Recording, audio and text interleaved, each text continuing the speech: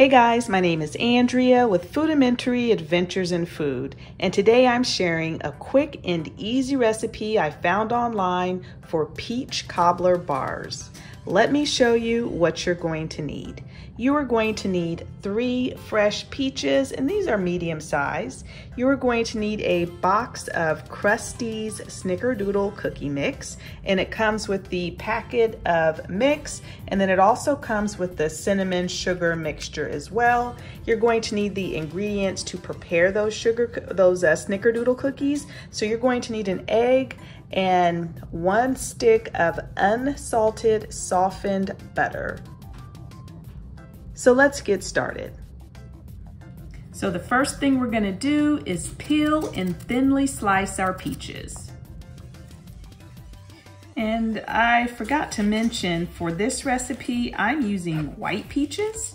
Uh, use whatever peach, variety of peach you'd prefer, but the white peaches just looked better at um, my grocery store.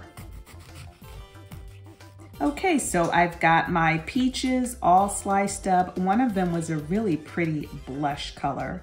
And this would also be pretty good with apples too. But let's start assembling or making our snickerdoodle cookie mix. Okay, so I've got my egg in a bowl. Now I'm adding in that mix and my stick of butter. And I'm just gonna mix this up really well. Okay, so I've got my cookie dough all mixed up.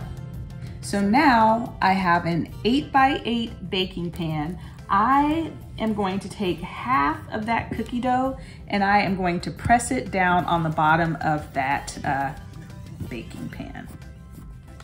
And now I'm gonna take that cinnamon sugar mixture and I'm just gonna sprinkle a third of it right on top of that cookie dough. And if I didn't mention it, um, I did lightly grease the baking pan. Now I'm going to take those peaches and I'm just going to spread them right on top. So now I'm gonna sprinkle another third of that cinnamon sugar mixture right on top of those peaches. And now I'm gonna take that remaining dough and just kind of uh, take pieces of it and just place it right on top. And once you have all of your cook, um, snickerdoodle dough in place, you're just gonna sprinkle that remaining cinnamon sugar mixture right on top. I have my oven preheating to 350 degrees and I am going to bake this for about half an hour or until it's nice and golden brown. Okay, so I just took this out of the oven. I did have to bake it for about 10 minutes longer than the recipe called for, so for about 40 minutes. So let me try to turn it over on its side a little bit so you all can see what it looks like. So at the 30 minute mark, it was not nice and golden brown like it is right now. Um, so I am going to let this cool and then I will cut a slice so you all can see what it looks like. Okay, so I let the peach cobbler cool and then I cut out a slice as promised. Here it is on the plate, and it's actually very good. So the texture of the cookie kind of changes to a cake-like texture. And you can see that little piece right there that's kind of fallen off. It's kind of cake-like. It is cooked all the way through. Those peaches are nice and tender. Now the recipe calls for a powdered sugar glaze, but I really felt like this was gonna be sweet enough, and it is, so I didn't even bother making that glaze. But I am serving mine with some whipped topping. Ice cream would be delicious too.